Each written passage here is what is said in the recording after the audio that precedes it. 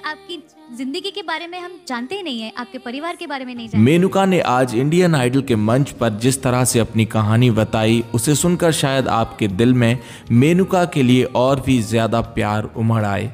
आप उसे और भी ज़्यादा पसंद करने लगें और एक मज़बूत लड़की के तौर पर देखने लगें दोस्तों। भले ही वो अपनी आँखों से नहीं देख सकती, लेकिन जिस तरह से उनकी कहानी उनकी आंटी ने इंडियन आइडल के मंच पर बताई है, उसे सुनकर आपको मेनुका पर गर्व होगा। यह है कि वो उसके पापा को वापस अपने घर लेके आए। खुद की कमाई में वो खड़ी रहेगी, तब जाके उसके पापा आ पाएँगे।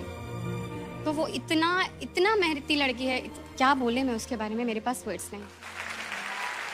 तो दोस्तों, ये थी मेनुका की कहानी, जो एक गरीब परिवार से बिलोंग करती हैं। उनके पापा मलेशिया में रहते हैं और वो चाहती हैं कि वो अपने पापा को अपने ही देश भारत में वापस बुलाएँ और उनके साथ रहें।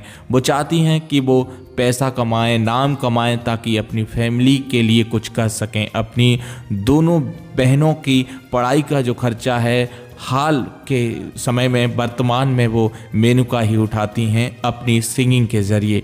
तो मेनुका के लिए इस वीडियो को लाइक करना तो बनता है दोस्तों, क्योंकि मेनुका जिस तरह का मोटिवेशन बनी है, आज इंडियन आइडल के मंच पर वो काबिल तारीफ़ है। और जो कोई भी अपने आप को किसी से कम समझता है, आज मेनुका को देखकर उसे अपने आप पर गर्व ज़रूर महसूस होगा, क्योंकि जिस तरह की कहानी आज मेनुका ने सुनाई है, वो सच में काबिल तारीफ़ है और हर किसी के लिए एक मोटिवेशन है।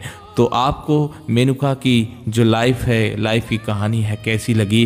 कमेंट सेक्शन में ज़रूर लिखना। वीडियो को लाइक भी ज़रूर करना। Thanks for watching for more update subscribe now